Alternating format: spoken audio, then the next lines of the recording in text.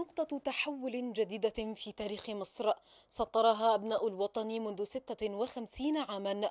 ففي الرابع عشر من مايو عام 1964 وعلى مدار ثلاثة أيام بدأ تحويل مجرى نهر النيل وتخزين المياه خلف السد العالي بعد انتهاء المرحلة الأولى من إنشائه. قدر جديد حمى البلاد من خطر الفيضانات أو الجفاف أحيانا ووفر مليارات الأمتار من المياه المهدرة عند المصب في البحر الأبيض المتوسط.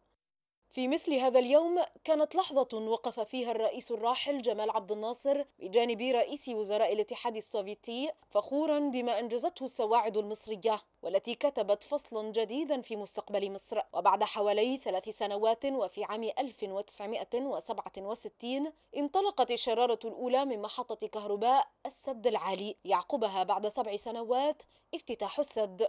مشروعات عديدة على نهر النيل أقامها المصريون منذ عقود للتحكم في إيراد النهر المتغير والذي كان يصل أحيانا لحد الفيضان وأحيانا أخرى لحد الجفاف لكنها جميعا كانت علاجات جزئية حتى جاءت فكرة إنشاء سد ضخم يخزن المياه في السنوات ذات الإيراد العالي لاستخدامها في السنوات ذات الإيراد المنخفض. ليصبح السد العالي هو أول مشروع للتخزين المستمر على مستوى دول الحوض يتم تنفيذه داخل الحدود المصرية.